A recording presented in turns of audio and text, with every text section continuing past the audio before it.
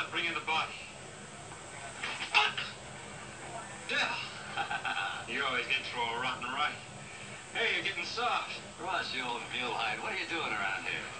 Making new friends? I never thought really...